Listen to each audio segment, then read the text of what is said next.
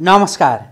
आदरणीय दर्शकवृन्द आजको प्रेसको यो अर्को एउटा विशेष संवादमा यहाँहरूलाई धेरै स्वागत छ म रोहित भण्डारी। दर्शकवृन्द राष्ट्रपति विद्यादेवी भण्डारीले नागरिकता सम्बन्धी विधेयक फिर्ता पठाइसकेपछि यति बेला नेपाली राजनीति तरङ्गित भएको अवस्था छ।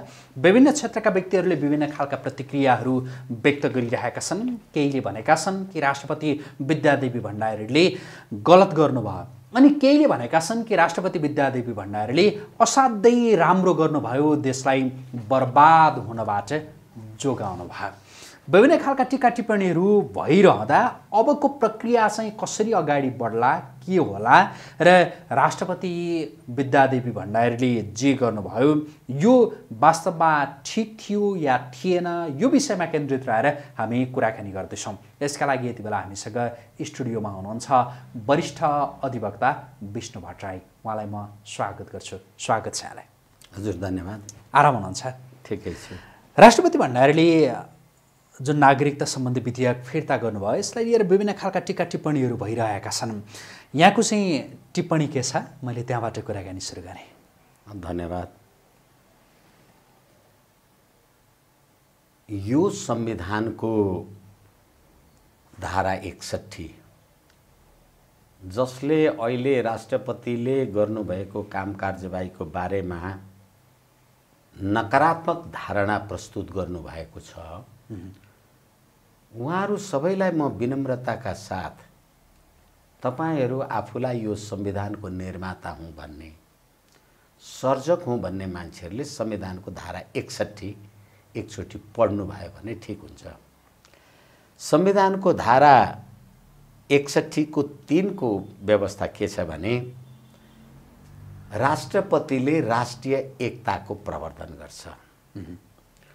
अहिले नागरिकता विधेयकको विषयलाई लिएर नेपाली जनतामा जुन विभाजन अथवा अहिले कार्यक्रमको प्रारम्भ गर्दा पनि आदरणीय पत्रकार महोदयले जे कुरालाई सम्बोधन गर्नुभयो त्यसले नेपाली जनता बिचको राष्ट्रिय एकतालाई विभाजन गरेको थियो कि एकताको सूत्रमा आबद्ध गरेको थियो? विभाजित थियो नेपाली जनमानस? अनि यो संविधानको त्यसैको एकसट्ठीको तिन मैले तपाईँलाई निवेदन गरेँ। त्यसै गरेर धारा चारले राष्ट्रपतिले संविधानको पालन र संरक्षण गर्नुपर्छ। अब अहिले राष्ट्रपतिजीको जे कदम छ त्यसलाई लिएर यो त रबर स्ट्याम्प। यसले प्रतिनिधि सभा राष्ट्रिय सभाले पास गरेर पठाएको कुरा यसो गर्न पाउने हो र भनेर भन्नुहुन्छ। भने तपाईँले बनाउनु भएको राष्ट्रपति जसलाई तपाईँले संविधानको पालन र संरक्षण गर्ने अधिकार दिनुभएको छ एकछिनलाई मान्नुहोस् न। मान्छेको शालिक अथवा मूर्ति बनाइयो। त्यो मान्छेको शालिक अथवा मूर्तिले त भात त खाँदैन नि। भात त मान्छेले खान्छ सजीवले खान्छ। त्यसै कारणले त्यो रबर स्ट्याम्प बनाएको भने त्यसले कसरी पालन र संरक्षण गर्ला संविधान? र तपाईँले संविधानको धारा एक सय तेह्रमा के लेख्नुभयो भने राष्ट्रपतिकोमा प्रस्तुत भएका प्रमाणीकरणका लागि प्रस्तुत भएका विधेयकहरू उत्पत्ति भएको सदनमा पन्ध्र दिनभित्र राष्ट्रपतिले पुनर्विचारको लागि पठाउन सक्नुहुन्छ भनेको छ। राष्ट्रपतिले पुनर्विचारको लागि पठाउन सक्नु पठाउनु भयो भने संविधानको धारा एक सय तेह्र मऱ्यो। राष्ट्रपतिलाई दिएको अधिकार नै उहाँले प्रयोग गर्नुभयो हो भन्ने कुरा। किनभने? राष्ट्रपतिले यो गर्नुभयो त्यो गर्नुभयो भनेर अहिले उहाँको विपक्षमा अथवा यो कारवाहीको विपक्षमा जे भनिएला तर संविधानको धारा एक सय तेह्र त कोट गर्नुभएको छ। अनि तपाईँहरूले चाहिँ अहिले जुन राष्ट्रपतिको कदमलाई आलोचना गर्नुभएको छ त्यो संविधानको धारा एक सय तेह्र तपाईँहरूले मान्नु पर्दैन। त्यो धारा एक सय तेह्र पनि संविधानभित्रकै हो होइन? अनि फेरि पनि मलाई त कहिलेकाहीँ पीडा लाग्छ। The preamble is the main gate of the constitution भन्छ। समग्र संविधानमा त सयौँ धाराहरू छन् दुई सय तिन सय धारा होलान् के के होलान्। तर समग्र संविधान बुझ्नलाई सैद्धान्तिक अवधारणा के हो भने यसको प्रस्तावना नै सम्पूर्ण संविधान हो। संविधानको प्रस्तावनाले नेपाली जनताको नेपालको राजकीय सत्ता र सम्प्रभु सत्ता नेपाली जनतामा निहित रहन्छ। र नेपालको राष्ट्र राष्ट्रियता राष्ट्रिय एकता अखण्डा अखण्डता स्वाधीनता सम्प्रभुताको रक्षा गर्नु कर्तव्य आदि इत्यादि जे जे भनेर प्रस्तावनामा लेखेको छ। भनेदेखि अब नेपालको सम्प्रभुतासँग ठ्याक्कै अर्थ राख्ने अथवा त्यसैलाई प्रत्याभूत गर्ने नागरिकता। कसरी? किनभने नेपालको राजकीय सत्ता र सम्प्रभु सत्ताको प्रयोग कहाँबाट हुन्छ? मतदानबाट हुन्छ। मतदान कसले गर्छ? नेपाली जनताले गर्छन्। को नेपाली जनता हुन्? जसले नागरिकता प्राप्त गर्छन् मत दिन योग्य हुन्छन्। यसैले गर्दा नेपाली जनताको राजकीय सत्ता र सम्प्रभु सत्तासँग सन्निहित नागरिकताको विषयमा राष्ट्रपतिले केही कुरा भन्नुभयो भनेदेखि तपाईँले मानेको राज्य प्रणाली र संविधान अन्तर्गतको राष्ट्रपतिलाई अपमानित गर्दा तपाईँ कहाँबाट परिचालित हुनुहुन्छ? फेरि अर्को कुरा। तपाईँले मङ्सिर चार गते निर्वाचनको मिति घोषणा गर्नुभयो। विष्णु भट्टराई एउटा राजनैतिक दलको संसद सदस्य र हिजो मैले जो जहाँबाट मत पाएँ होला जे गरेँ होला अब नेपाली जनतालाई मैले के भने भने म मङ्सिर चार गतेसम्म चार गतेको निर्वाचन हो र म त्यहाँ फेरि उम्मेदवार हुँदैछु मेरो पार्टी हुँदैछ आदि इत्यादि भनेर म भन्छु। र तपाईँ पनि मङ्सिर चार गतेको निर्वाचनमा उम्मेदवार हुन त पाउनुहुन्छ। अनि म अहिले फेरि यो संविधान अथवा विश्वव्यापी मान्यता शाश्वत मान्यता के हो भने अदालतको विचाराधीन रहेको विषयमा अदालत बाहिर टिका टिप्पणी छलफल गर्न पाइँदैन। नेपाली जनताको सम्प्रभु सत्ता र राजकीय सत्ता भनेको मतदानद्वारा हुन्छ। म मतदानमा आएँ तपाईँसँग भनेर जनताको अदालतमा आएँ अब म। जनताको अदालतमा आएँ भने जसरी प्रधानमन्त्रीले राजीनामा गरेपछि अर्को सरकार नबनुन्जेल तपाईँले काम चलाउ गर भन्ने भने जस्तै अहिले अब अर्को संसद सदस्य निर्वाचित नहुन्जेल मैले काम गर्ने हो भने म त अब केयरटेकर भएँ नि। ल्याम्डक भएँ नि। ल्याम्डक किन भएँ? भने नेपालको सम्प्रभु सत्तालाई प्रतिनिधित्व गर्ने नेपाली जनताको नागरिकताको विषयलाई अब मैले छलफल गर्न पाउँदिनँ। अनि अनि- त्यसपछि। अहिले जसरी राष्ट्रपतिले जुन विधेयक फिर्ता पठाउनु भएको छ अब निर्वाचन घोषणा भइसकेपछिको यो अवस्थामा संसदमा यो विषयमा के पुनर्विचार गर्ने के छलफल गर्ने यी सांसदहरूले गर्न मिल्दैन गर्नका लागि योग्य छैनन् भन्ने कुरा हो तपाईँको? हो। निश्चित रूपमा। किनभनेदेखि दुई सय पचहत्तरको प्रतिनिधि सभा।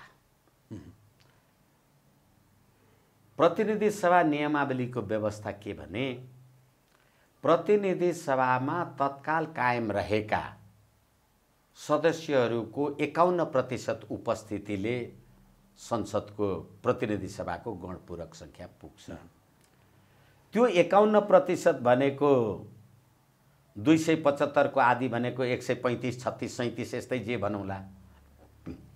अनि त्यो त्यसको एकाउन्न प्रतिशत भनेको अब कुनै विधेयक सिधेयक पास गर्नको लागि उपस्थित सङ्ख्या सदस्य सङ्ख्याको एकाउन्न प्रतिशत। त्यसैले अब फेरि यो नागरिकता विधेयक तपाईँले फास्ट ट्र्याकबाट पास पारित गर्नुभयो। छ्यालिस सत्तालिसजना संसद सदस्यहरूको ध्वनि मतसत आदि इत्यादिबाट। भनेपछि एक त प्रतिनिधि सभा आफै ल्याम्डक हो। निर्वाचन घोषणा भइसकेका छ तपाईँले राष्ट्रलाई दूरगामी असर पर्ने कुरा गर्न पाउनुहुन्न। दोस्रो कुरा तपाईँ जुन नेपाली जनताको राजकीय सत्ता र सम्प्रभु सत्तालाई निर्वाचनद्वारा म प्रयोग गर्छु भनेर तपाईँ जे प्रयोग गर्दै हुनुहुन्छ यो प्रयोग तपाईँले के गर्नुभएको छ? अहिलेको संविधानको धारा एघार। यसले के भन्यो भने यो संविधान प्रारम्भ हुँदाका बखत नेपालको नागरिकता प्राप्त गरेका र यस भाग बमोजिम नागरिकता प्राप्त गर्न योग्य व्यक्तिहरू नेपालको नागरिक हुनेछन्। भनेपछि यसबारेमा पनि हामी कुरा गरौँला समय कति छ? तपाईँले नेपाली बनाउने हो कि नेपालीलाई नागरिकता दिने? तपाईँले त नेपाली बनाउँदै हुनुहुन्छ। अब तपाईँले कसरी नेपाली बनाउँदै हुनुहुन्छ? म आजको प्रेस मार्फत चुनौतीका साथ आम दुनियाँमा भन्न सक्छु। जस्तो नेपालको संविधान दुई हजार उन्नाइस प्रारम्भ हुँदा हामीले के भन्यौँ? त्यसको साथमा नेपालमा स्थायी वासस्थान भएको देखाएको प्रत्येक व्यक्ति यो संविधान प्रारम्भ हुँदाका बखत नेपालको नागरिक ठहर्नेछ भन्दै नेपाली नागरिकसँग वैवाहिक सम्बन्ध राख्ने विदेशी नारीले विदेशको नागरिकता त्याग्नुपर्ने व्यवस्था छ। दुई हजारको उन्नाइसको संविधानले के भन्यो? यो संविधान जारी हुँदाका बखतका नेपालीहरू नेपालको नागरिक हुन्छन्। र नागरिकता त्याग्ने आदि इत्यादि। त्यसै गरेर सत्तालिसले के भन्यो? धारा आठमा नेपालको स्थायी बसोबास भएका देहाएका व्यक्तिहरू यो संविधान प्रारम्भ हुँदाका बखत नेपाली नागरिक ठहर्नेछन्। फेरि यो संविधान प्रारम्भ हुँदाका बखत कहिले? सत्तालिसमा। अब फेरि दुई हजार त्रिसठीमा बनाउनु भयो। फेरि के लेख्नुभयो त्यसको धारा आठमा भने यो संविधान प्रारम्भ हुँदाका बखत नेपालको नागरिकता प्राप्त गरेको व्यक्ति नेपाली नागरिक हुन्छ भन्नुभयो। त्यतिखेर त त्यो त्यो दल छल कमिटी समिति बनाएर गाउँ गाउँमा जे जे बाँड्नुभयो नागरिकता फार्मेसीगञ्जतिर पनि बाँड्न हिँड्नु हो भन्ने कुरा आम सार्वजनिक भएको थियो।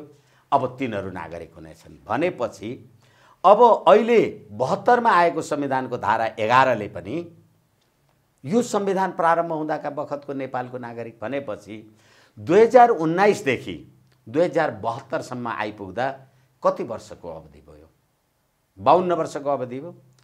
बाहन्न वर्षको अवधिमा कतिवटा मान्छेहरू बाहिरबाट आयो दुई हजार उन्नाइसमा यो संविधान प्रारम्भ हुँदाका बखतका नेपाली नागरिक भनेपछि त तपाईँ हाम्रा बाबु बाजे जिजु बाजे चिप्जु जो जो हुन् र तपाईँ हामी जो हुँ हाम्रा छोरा नाति पनाति जो तिनीहरू त यहीँ छन् नि।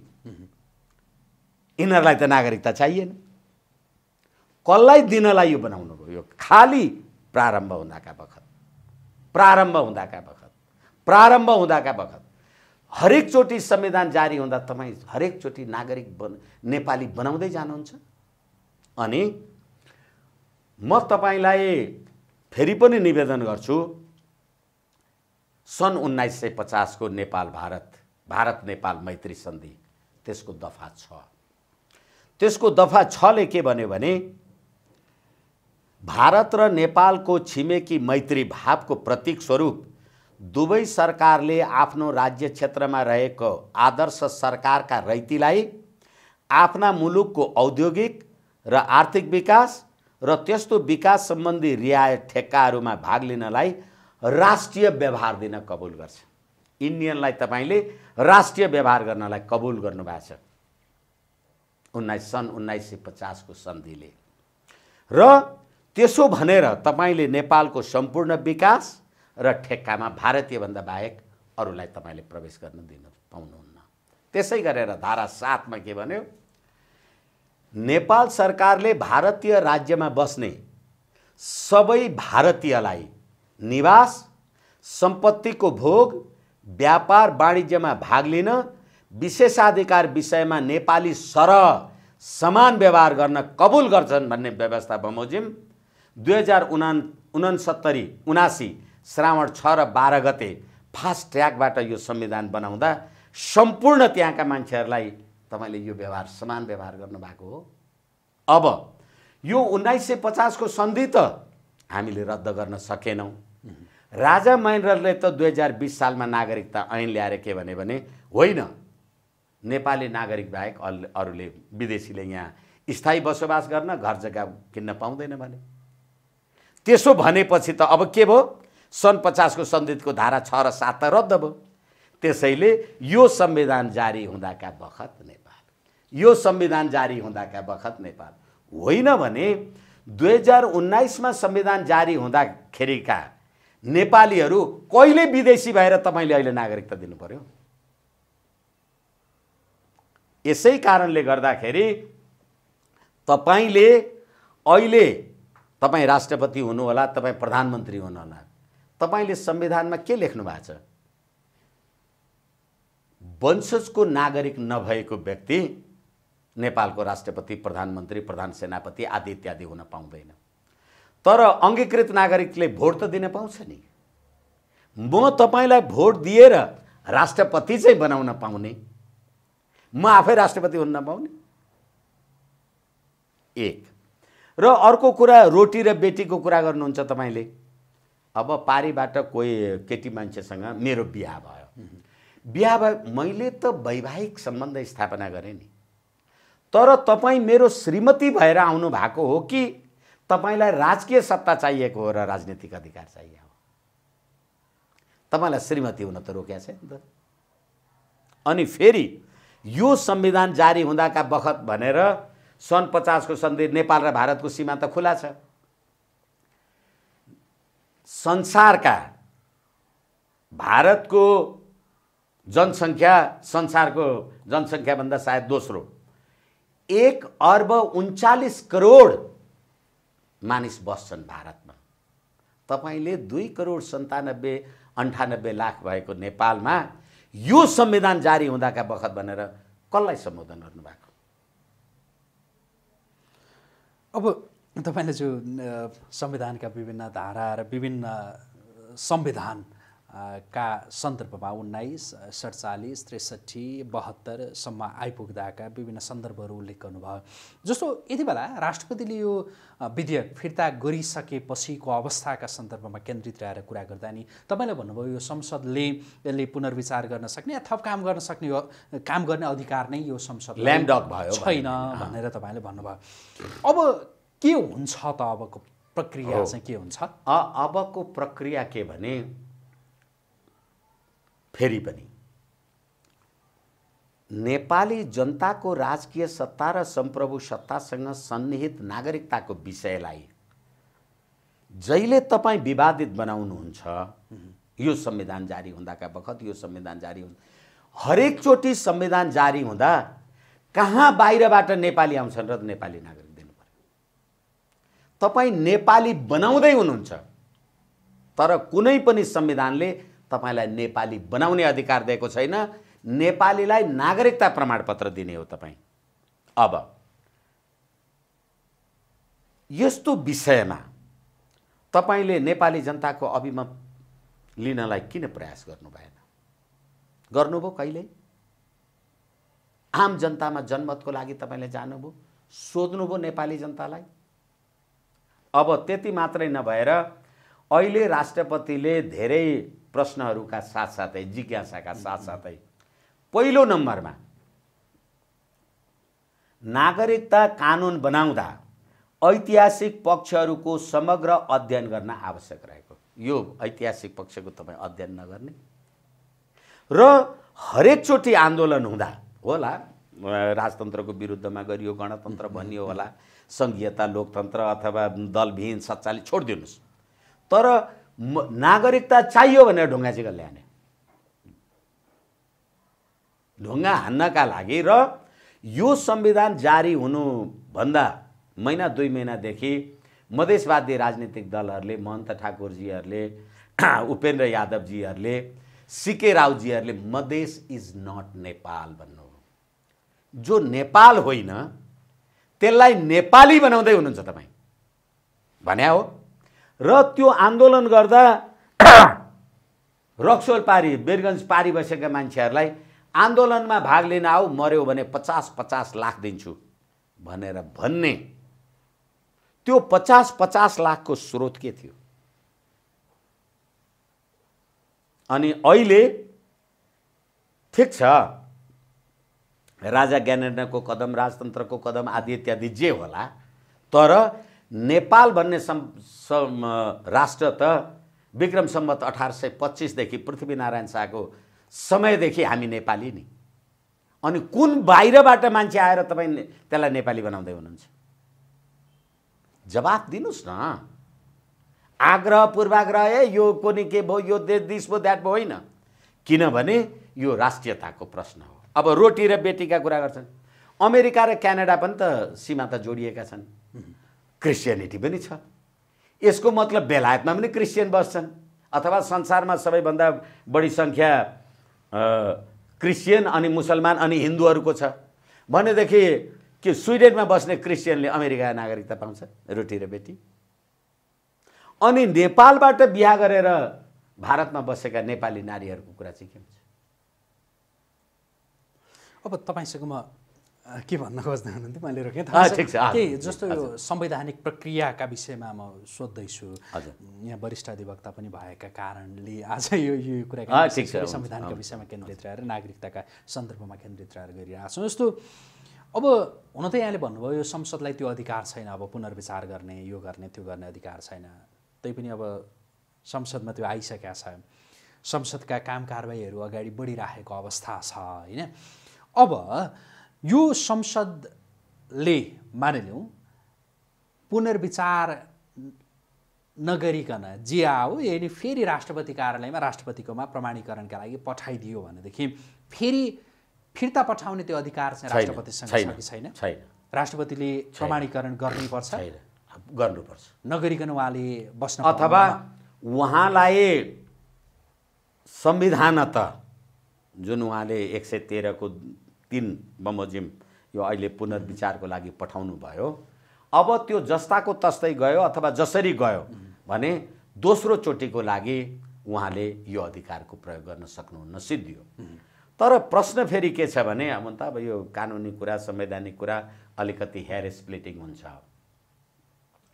तपाईँले उहाँले भनेको कुरालाई सम्बोधन गरेर पठाउनु भयो भने त फेरि पनि त्यो त नयाँ हुने पनि। यो जस्ताको तस्तै पठाउनु भयो भने चाहिँ त्यही विधेयक हुने भयो। तर राष्ट्रपतिले भनेका कुराहरूलाई सम्बोधन गरेर तपाईँले पठाउनु भयो भने त त्यो फेरि नयाँ विधेयक भयो नि। अनि त्यतिखेर फेरि एक सय तेह्र प्रयोग गर्न पाउने कि नपाउने फेरि पनि विवाद चाहिँ हुन्छ।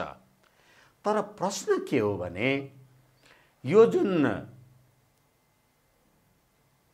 देशको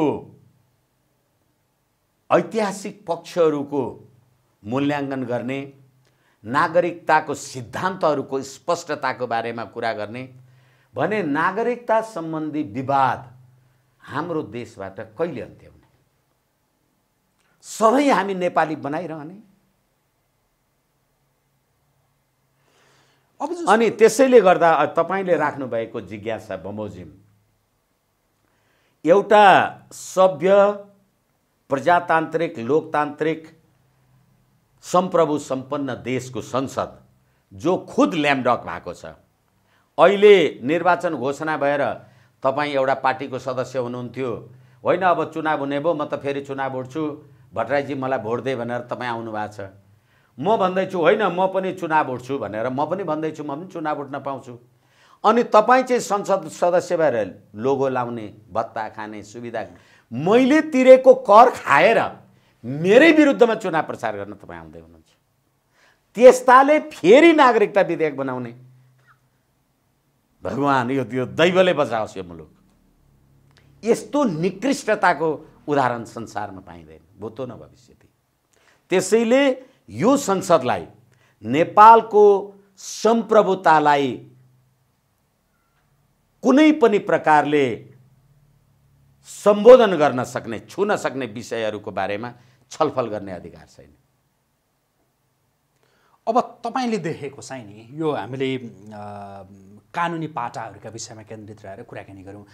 तपाईँको बुझाइ चाहिँ के छ? अब होला कि? अब के हुनसक्छ तपाईँको विश्लेषण चाहिँ? अब संसदले के गर्ला? राष्ट्रपतिले के गर्नु होला अब देशमा के अब अब मेरो चाहिँ आजको प्रेस मार्फत आम नेपाली जनतालाई विनम्रताका साथ आग्रह के हो भने जसरी यो राज्य प्रणालीले अहिले त्रिपन्न वर्ष पुग्दाखेरि पनि फेरि नेपाली बनाउँदै गरिराखेका छ गर्दा गर्दै देशभित्रै नेपाल भारत मैत्री सन्धि उन्नाइस सय पचासको दफा सात बमोजिम सम्पूर्ण भारतीयहरूलाई नेपालमा त्यसरी नै निर्वाध घर जग्गा जमिन गर्न दिएको भएदेखि आज नेपालीहरू सम्प्रभु सम्पन्न हुन्थे कि त्यो सन् पचासको सन्धि अन्तर्गत आएका सम्पूर्ण भारतका स्थायी नागरिकहरूका गोठाला भएर बस्थे। त्यसैले राष्ट्रियता बचाउने कुरामा पार्टी आफ्नो ठाउँमा छ। राष्ट्रियता बचाउने कुरामा नेपाली बनाउने यी राजनीतिक दल र यो पाखण्डलाई बन्द गर्नका लागि नेपाली जनताको क्रियाशील सहभागिता हुनुपर्छ र यसको विरुद्धमा जनताले आवाज बुलन्द गर्नुपर्छ। गर्नुपर्छ। यो यहाँको चाहना भयो होइन? तपाईँले देखिरहेछ नि देखिरहेको चाहिँ नि जस्तो जनता त्यसरी सडकमा आउने त्यो सम्भावना तपाईँ कतिको देख्नुहुन्छ? र के हुन सक्ला मेरो जिज्ञासा अब अब यसै के हुन सक्ला? यदि दुःख छ नेपाली जनतालाई भने हिजो एउटा अखबारमा मैले हेरेँ। भन्न पनि पीडा लाग्छ। वर्षमान पुन भन्ने एउटा कोही माओवादीको नेताले नेपाली जनता नै भ्रष्ट छन्। किनभने पैसा नदिकन भोट हाल्दैन। कस्तो राज्य प्रणाली होला। तिनीहरूले बनाएको नागरिकता विधेयक। अनि तिमी नेपाली जनता भ्रष्ट भएर तिनीहरूलाई फेरि अगाडि बढाउँछौ। एकछिनलाई मान्नुहोस् ल भ्रष्ट तपाईँले भन्नुभएको कुरा सही। त पैसा त तपाईँ बाँड्नु हुँदो रहेछ नि त। त्यो बाँड्या पैसा कहाँबाट आउँछ भन्नुहोस् त। तपाईँ त सर्वहाराको अधिनायकवादवाला पैसा बाँडेर चुनाव जित्छु त तपाईँले भन्नुभयो नि। अनि नेपाली जनता बिकाउ छन् पनि भन्नुभयो। कसको ताबेदारी गर्दै हुनुहुन्छ? बाह्र बुँदे समझदारीका मालिकहरूको ताबेदारी होइन। र कतिखेर नागरिकता विधेयक पास गर्नुभयो? भने जतिखेर पुष्पकमल दाहालजी भारत भ्रमण गरेर आउनुभयो अनि फास्ट ट्र्याकबाट नागरिकता विधेयक पास गर्नुभयो। भने नेपाली मलाई भोक लागेको छ तपाईँले भात खाएर हुँदैन। म बिरामी भएको छु उसलाई इन्जेक्सन हानेर त हुँदैन। त्यसैले यो नेपाल र नेपाली जनताको स्वाधीनता सम्प्रभुतासँगको विषयमा नेपाली जनताकै जागरुकता भएन भने तपाईँले निवेदन गर्नुभए अनुसार मेरो चाहना होइन। यो राष्ट्रिय अनिवार्य बाध्यता हो। र त्यो कुरालाई नेपाली जनताले सम्बोधन गर्नुहुन्न भने म अघि अघिको जिज्ञासामा फेरि थप जिज्ञासा यहाँसँग राख्दैछु। जस्तो अहिलेका अवस्थामा संसदले फेरि राष्ट्रपतिकोमा पठाइदियो त्यो विधेयक होइन?